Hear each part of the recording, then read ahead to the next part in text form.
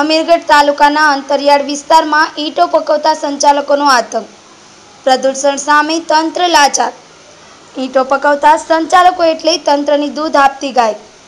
આપ જોઈ રહ્યા છો અમીરગઢ તાલુકાના અંતરિયાળ વિસ્તારમાં આવેલા ચીમની ભઠ્ઠાની કહાની. અમીરગઢ તાલુકો ટ્રાઇબલ વિસ્તારમાં આવેલ છે.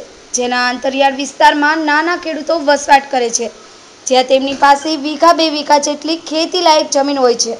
પરંતુ રાજ્ય બહારના લોકો દ્વારા બસ મોટી લાલચો આપી આ ખેડૂતો પાસેથી જમીન ભાડાપટ્ટી મેળવવામાં આવે છે.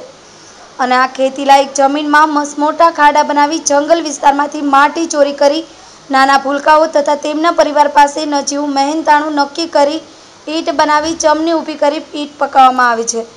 જેના કારણે મોટા પ્રમાણમાં ધુમાડાથી પ્રદૂષણ ફેલાવવામાં આવી રહેલ છે. આજુબાજુના ખેતરોને નુકસાન કરવામાં આવી રહેલ છે.